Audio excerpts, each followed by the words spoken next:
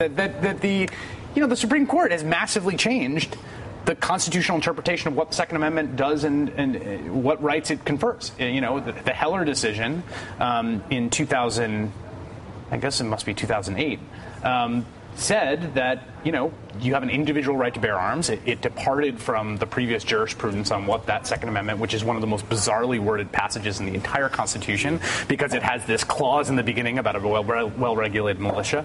It decided that you have an individual right to bear arms and struck down a, a restriction in D.C. and and and that's changed. You know. That's created a whole new um, landscape for the way that we understand the Constitution with, with regards to it as well. But